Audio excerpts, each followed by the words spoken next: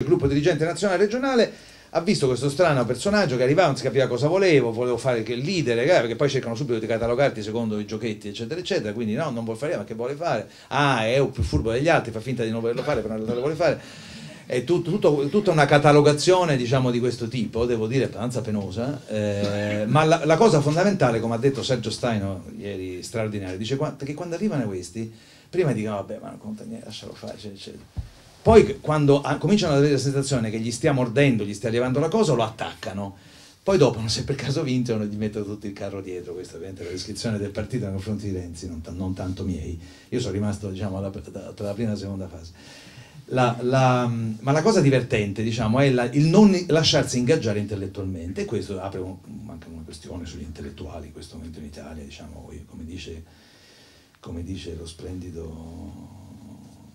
come si chiama adesso, mi scappa il nome, poi mi viene in testa una figura che Martini ha lasciato a, a Milano in, in, comando del suo istituto, dice sono diventati tutti opini, opinionisti gli intellettuali in Italia. Allora, in questi circoli emerge spesso la seguente cosa, ma di che parli Barca? Forse c'è pure ragione, ma tanto non c'è spazio, per inutile governare, c'è l'Europa, è lei che ci detta tutto, non ci sono più spazi per i governi nazionali, in particolare non c'è più spazio per il governo italiano, di che stai parlando? L'unica questione vera è l'Europa. Questo è il convincimento diffuso nel 70% diciamo, delle persone con cui tu interloquisci. Allora, qual è la mia risposta a questo? Una risposta che voi conoscete bene. Prima di tutto questo è totalmente falso, perché la, eh, nonostante abbiamo compresso la spesa pubblica in Italia a dei livelli molto bassi, noi abbiamo dei margini di miglioramento di efficienza a parità di vincoli comunitari che è enorme in tutti i campi sia spostando fondi da alcune fonti di spesa ad altre, sia migliorando il funzionamento dell'amministrazione, come ho appena finito di dire. Quindi questo non è vero, è un alibi, eh, è un alibi, perché cerchi un alibi quando perdi, no? E quindi questo alibi va demolito. Non devo dirlo a voi perché lo sapete benissimo che è un alibi, però ve lo voglio comunicare perché poi avete queste interazioni interessanti con dei pezzi i pezzi che tu hai nominato abbiamo scoperto poi alla fine sai sono quelli se voi andate chi di voi vuole vedere quelli che ho incontrato entra nel mio web www.fabriziobarca.it c'è una mappa d'Italia, può vedere tutti i circoli che ho incontrato e per ogni circolo, quasi tutti, molti, alcuni non l'hanno mandata, ma quasi tutti, faccio fare un report alla fine di ogni incontro, anche voi mi auguro lo farete, in cui c'è scritto cosa è uscito fuori. Quindi potete vedere anche i circoli vivaci, ce ne sono di vivacissimi, alcuni forse non, cioè per aggiungere alla lista, Sassari io la sentirei, già la sentite, insomma, eh, eh, va bene, eh, detto, eh, appunto, ci sono, ci sta, ci sta il circolo di Gioiosa Ionica, essere un circolo vivace a Gioiosa Ionica nella Locride, eh, come dire, rischia essere, essere vivace. Eh. Eh, allora, ce, ce, ne sono a Bagnara, ci sta un'esperienza interessante di Bagnara, cioè il paese è pieno di esperienze straordinarie, spesso legate alla figura di un giovane,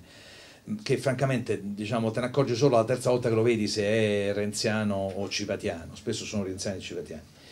Eh, perché non, non, importa, perché a loro non gliene importa niente. Alcuni sono diciamo terzisti, come, anzi quintisti come li chiamo io, cioè non appartengono a nessuna, a nessuna filiera. Allora, questa è la prima risposta. La seconda risposta che io do a questa domanda del vincolo europeo, beh certo in parte avete ragione, qual è il problema? Il problema è che il Partito Democratico ha abdicato anche rispetto all'esperienza del Partito Comunista dalla costruzione di una relazione permanente, di una strategia con i partiti. Gli ultimi, ci sono stati due tentativi, uno era il comunismo, l'ultimo, e non mi ricordo più se era DS o PDS, quello, quello diciamo, della terza via, D'Alema, Blair, eh, eh Clinton, Firenze, tanto per intenderci cos'era, DS, PDS, eh? era DS. Ma non c'è più un'esperienza, ed è una cosa che fa impressione, lo, lo, vedete voi, sono cose che conoscete, io me ne sono accorto da ministro, diciamo la debolezza anche del, del gruppo parla- anche del, del, livello di gruppo parlamentare, quindi non c'è fra i partiti, non c'è a livello di gruppo europarlamentare, non hai la, no, non hai, non hai la sensazione dell'esistenza di un confronto sulle questioni fondamentali. E quindi il part, il, il, l'Italia non riesce a far valere i suoi punti di vista. Io vi dico qual è il mio incipit e poi vi dico qualcosa su, su Europa anche rispetto alla vostra pagina che ho letto, uso le vostre pagine. Tra i 15, le 15 principi di, di sinistra che io provo, ho provato a riscrivere nella mia memoria, eh, ho scritto il secondo è questo. Le limitazioni di sovranità connesse al progresso del progetto dell'Unione Europea sono possibili, articolo 11, come sapete, della Costituzione, se hanno luogo in condizioni di parità con gli altri Stati e consentono di assicurare la pace e la giustizia, così recita l'articolo 11. Tali requisiti vanno garantiti, le limitazioni possono accrescersi a misura, questo sono io che scrivo, della crescita dei diritti e dei doveri che l'Unione Europea garantisce ai cittadini italiani e di ogni Stato membro in quanto cittadini europei. Io ritengo, io, eh, sul piano giuridico è controverso, non sul piano politico, mi è stato detto da insigne costituzionalista che posso dirlo, che noi siamo in parziale violazione dell'articolo 11 della Costituzione in in questo momento, perché voi sapete perfettamente che a noi è stato consentito di realizzare l'unione monetaria, cioè di cedere i poteri di eh, di, di monora del tasso di cambio e di eh, controllo e di riacquisto del debito pubblico e di controllo del tasso di interesse in nome di quel, da, dalla Corte Costituzionale in nome di una lettura estensiva di un articolo della Costituzione che come sapete era stato scritto per le Nazioni Unite dove giustizia non stava per giustizia articolo 3 della Costituzione italiana pari opportunità ma giustizia nel senso di giustizia internazionale eh, principi delle Nazioni Unite. Oggi Mentre possiamo dire che ancora oggi che l'Unione Monetaria e l'Unione Europea concorre all'aumento della pace, non è più vero che concorra all'aumento della giustizia, perché dall'appartenenza all'Unione Europea sta derivando in Italia un peggioramento delle condizioni di eh, giustizia e una violazione dell'articolo 3 della Costituzione. È un dato di fatto. Quando viene tagliato il fondo per l'assistenza agli anziani, eh, assistenza domiciliare integrata agli anziani e all'infanzia in Italia, come è stato tagliato dal governo Berlusconi, non ripristinato né dal nostro governo né dall'attuale governo, noi stiamo peggiorando per, per, taglia, per, per eseguire degli accordi internazionali, degli accordi con l'Europa. Accordo internazionale, ho detto sì, perché cosa è successo con l'Unione Monetaria? Lo sapete meglio di me cosa è successo? È, un, è un'unione sospesa, insostenibile. L'unione monetaria oggi è non sostenibile, è stata costruita per essere insostenibile da chi l'ha disegnata, immaginandosi che a essa seguisse, che, che era tanto insostenibile,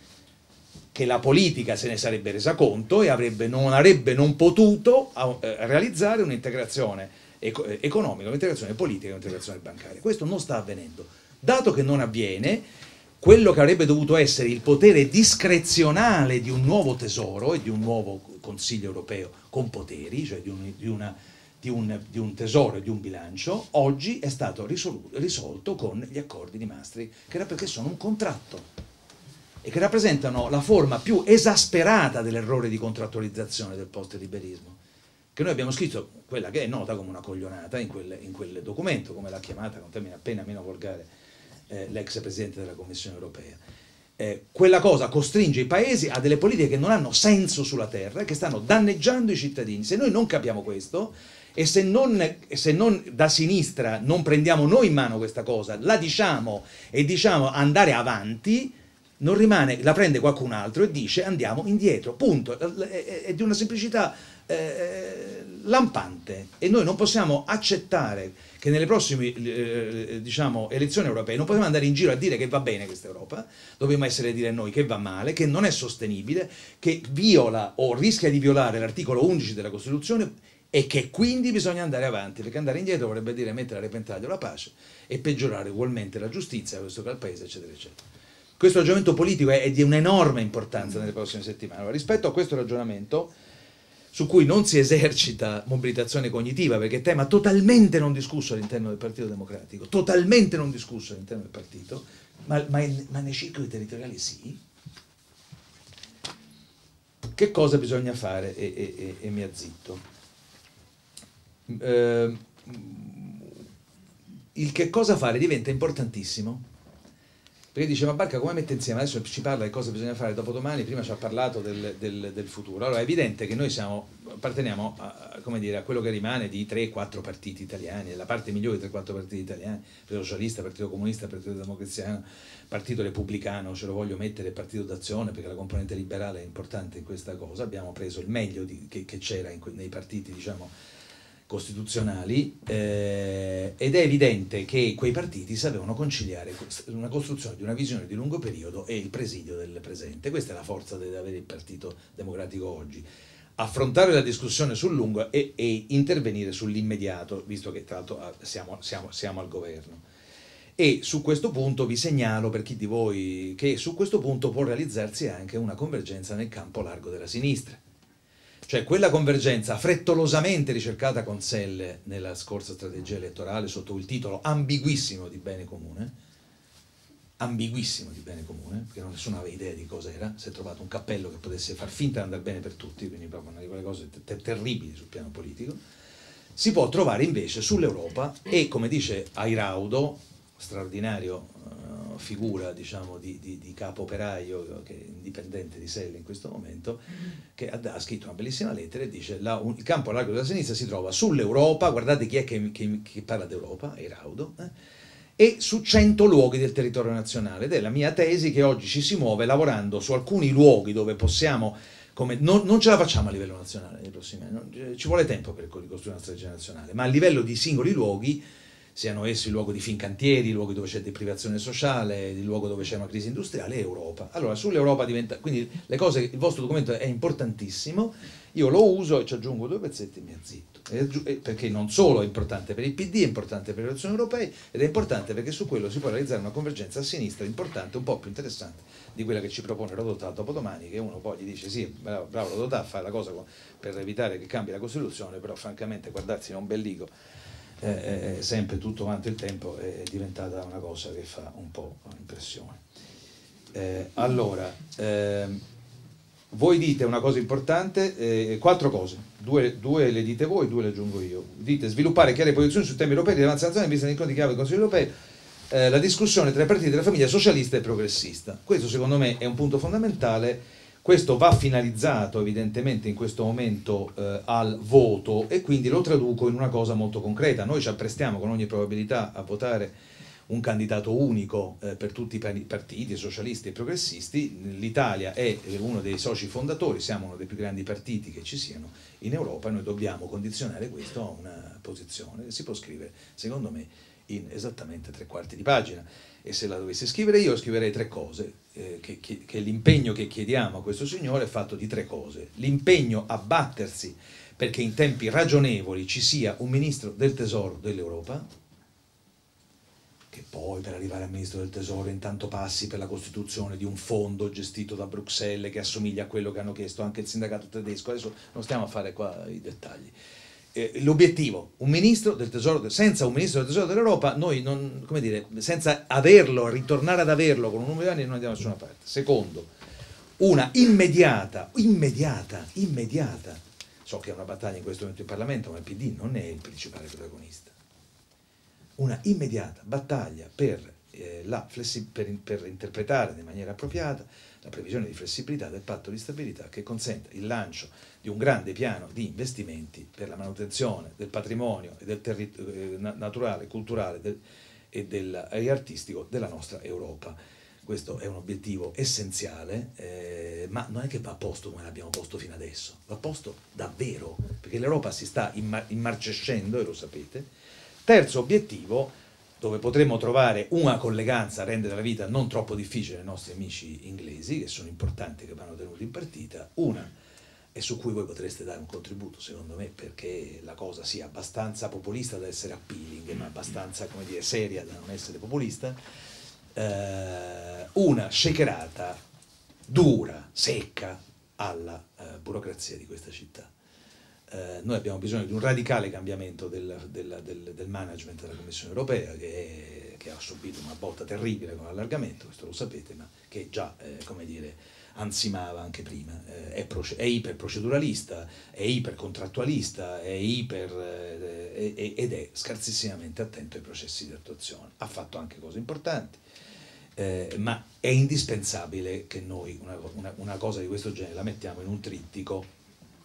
da chiedere, non la solita, l'ennesima riforma della Commissione, una cosa, una cosa che, abbia, che, che, una cosa che, che, una cosa che voi chiudete gli occhi e poi siete molti di voi siete giovani, la, la media di questa di età di qua dentro è molto più bassa della media che io incontro generalmente per il PD in giro per l'Italia, eh, che, ri, che riattragga a questa città, a questa burocrazia il meglio burocrazia, il meglio dei giovani di oggi e vi butto lì una piccolissima cosa di cui sono fissato, eh, che, che, mette in gioco un modo un po' diverso quello che io chiamo le burocrazie nazionali con la doppia legittimità. Cioè figure come la mia, nella mia veste di amministratore, nella, ovviamente nella politica di coesione, ne incontrare tante, sono persone che non sono più solo nazionali, ma non lo sono più nei loro modi di pensare, di ragionare. c'è una intera leva di amministratori pubblici austriaci, tedeschi, inglesi, francesi che è venuta su in questi anni, che è cresciuta in una maniera che non è più una burocrazia nazionale. Allora noi non la, non la mettiamo a, a, a, dire, a, uso in maniera adeguata, lavora ne, ne, nella comitologia, ma dimenticate un attimo che ci vuole uno sforzo di fantasia che voi potete forse avere meglio di me. La seconda cosa che voi dite, eh, basta, mi sembra molto carina, tu mi hai dato un chiarimento, mi hai ricordato giustamente il caso di, di De Verger è l'inclusione di candidati provenienti da altri stati membri dell'Unione Europea. Mi sembra una cosa che voi scrivete da sottoscrivere a, a, con 22 righe, ma una cosa di rottura, fatta con intelligenza, giocando su personaggi probabilmente più freschi. Eh, diciamo da, di quanto non fosse tu Vergeo allora cioè non, non, no che era un po' l'indipendente che era nella logica indipendente no voglio dire che era nella logica indipendente di sinistra cioè un'operazione che, che, pesca nella gioventù, nei, nei trentenni di questa, di questa, Europa, sarebbe un'operazione molto intelligente. E di nuovo secondo me potreste farvene portatori, io personalmente vi, vi appoggio in ogni modo in cui la faceste. La terza e ultima cosa eh, che voglio dirvi è eh, questa, che invece non c'è, ma che c'è nell'attività che voi svolgete, cioè perché, perché me l'hai già detto eh, ehm, poiché io penso che l'altra dimensione in cui il Partito Democratico può davvero cambiare nei prossimi, eh, già, già, da dopodomani, non è tanto nel ridisegno nazionale, poi semmai vi dico cosa a livello nazionale secondo me possiamo chiedere veramente al congresso ragionevolmente, ma è a livello di 100 luoghi dei territori, se riuscissimo, se capiterà, può darsi che succeda che nei prossimi 6-7 eh, mesi si delineino queste, come l'avrebbe chiamata Enrico Berlinguer, queste 20 case matte in giro per l'Italia dove ci sono delle punte avanzate di leadership locale, dei pezzi di Partito Democratico particolari. Ecco, se, se si delineano un investimento eh, assicurarsi che nel dibattito che nasce a Livorno, perché uno di questi luoghi diventa Livorno attorno alla vicenda della Solvay, che questi luoghi abbiano nella loro pancia la dimensione europea,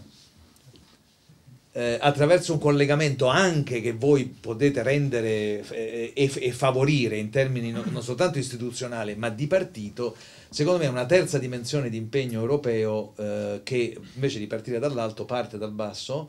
eh, a cui non, il nostro partito non è, non è abituato. Eh, e, e, si trova quindi, non essendo abituato, a lanciare delle opzioni tipo su aiuti di Stato, su interventi o a non sapere che ci sono degli spazi di intervento che invece potrebbero essere sfruttati e che voi conoscete o che alla loro attenzione possono essere portati.